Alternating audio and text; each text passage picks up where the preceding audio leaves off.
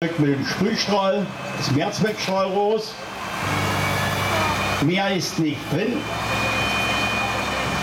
Und nun schauen wir mal, was dieses Strahlrohr mit der Flamme macht.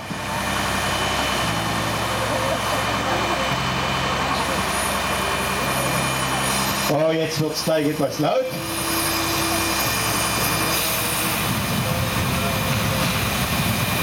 Und es wird warm. Die Kameraden haben den Auftrag, an den Gashahn zu gehen, der sich an der Gasflasche befindet. Und es wird, glaube ich, jeder sehen, dass das mit dem normalen C-Mehrzweckstrahlrohr nicht möglich ist. Es wird nämlich wirklich heiß.